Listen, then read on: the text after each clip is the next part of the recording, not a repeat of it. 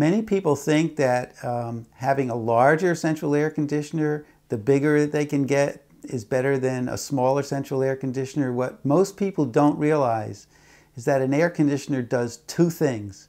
Number one, it cools your house down.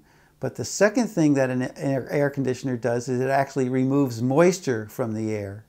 So if an air conditioner is oversized, it will cool your house down so rapidly that it will not have time to dehumidify the air in your house.